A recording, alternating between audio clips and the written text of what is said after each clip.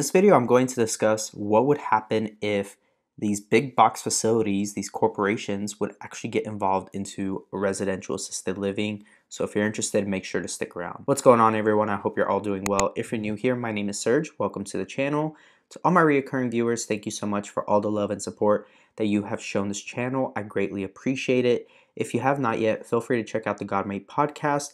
Also, feel free to check out Legion Assisted Living Academy and also Legion Assisted Living Advisors. These links will all be down below. Also, my business email will be down below for anyone who has any type of questions or inquiries about this industry. Feel free to email me. So, without further ado, let's go ahead and actually jump into the topic of this video. Now, a question I would like to ask all of you that are looking to get into residential assisted living, or if you're currently in a residential assisted living, is what would happen if and when these big box facilities or large corporations that have these big assisted living facilities were to get involved in residential assisted living. So, why would they do that? Well, there has been a lot of rumors these past couple years that these large corporations are thinking of getting into residential assisted living in the form of pocket communities. And what are pocket communities? Pocket communities are either five to 10 bed facilities all on the same lot. So they would have about four to five of these homes on the same lot. Therefore, they're all going to be licensed separately, which is a very interesting concept if they were able to do that. They're not necessarily doing anything different other than breaking it down to a residential level by creating these residential communities. So, what does that mean for all these other residential assisted living communities, right? Well, I could tell you right now that it's going to change a lot of how these residential assisted living owners are going to operate because if these quote unquote trusted big box corporations come in that everyone knows, right? The Brookdales, the Atrias, all these big name corporations coming in they have something that these small residential assisted living home owners don't have. They have branding, they are well known, and they have more trust built within the nation, right? When families see a big box corporation or brand come in and actually start residential assisted living, well, they're instantly going to go there first prior to coming to these mom and pop type of residential assisted livings that's not necessarily a bad thing. Um, it's only going to cause the competition to be stiffer. It's going to cause things to be a little more harder, but that's not necessarily a bad thing because if these big box facilities come in and they do residential assisted living and they treat it as a corporation and they don't treat it at the level that these other care homeowners, these mom and pop care homeowners, treat it, they are not going to have the type of reviews and the type of care that's provided to their these families loved ones right? When you treat it like a corporation you're going to sense that corporation feel. Everyone gets that right? At the end of the day with these big corporations these residents and the people that are placed in these big box facilities it ends up just being a number for them. All they're worried about is their bottom dollar and that number at the end of the quarter to make sure that they are actually being profitable and that they are making sure that all these shareholders and investors are happy. And they will do what by whatever means they will do what is necessary to be able to do that.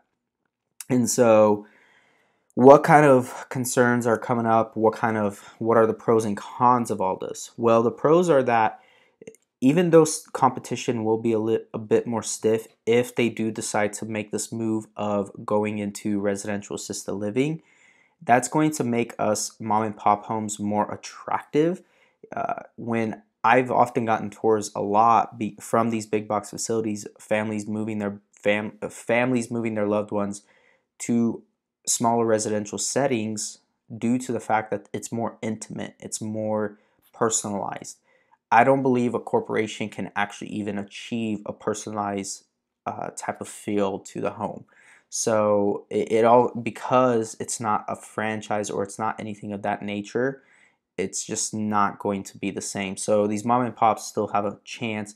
Also, these mom and pops are a lot more established within their communities, their specific communities, their zip code that they're in. So when you get referred by a family member that has a loved one in your home, they're going to refer them to your home because of the experience that they've had with you.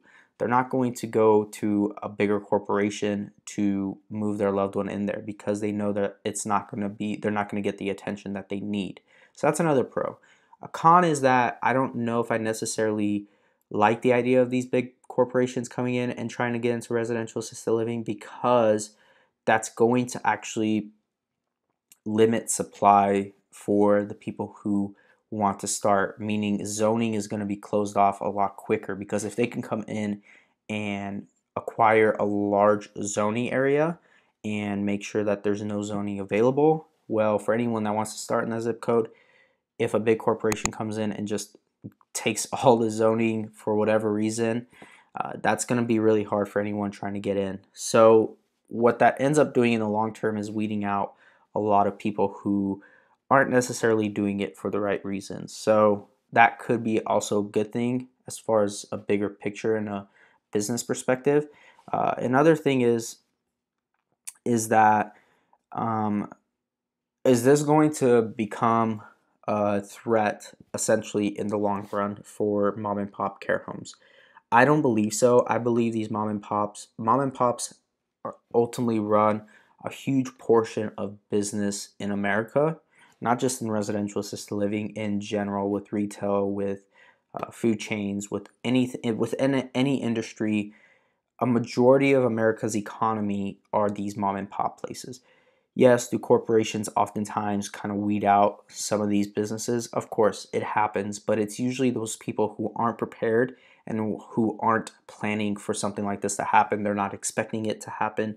They're not doing anything to prepare for it, financially at least.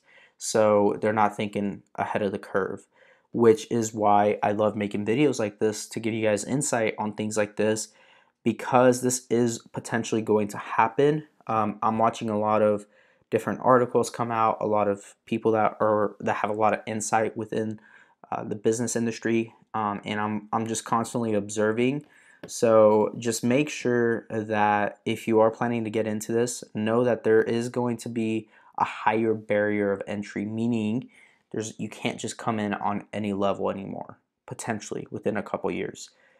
Right now, you still can. There's still a lot of opportunity. You can definitely do it, but just know uh, there may be a short window when you can do it. Just FYI, I think it's good to know that. So that is all I have for you all. I hope you all enjoyed this video and that you got a ton of value from it. If you did, make sure to hit that like button. Hit that subscribe button for me if you haven't. Check out check out all the links down below, Legion Assisted Living Academy and Legion Assisted Living Advisors. I would greatly appreciate it. And again, I will talk to you all in the next video. God bless.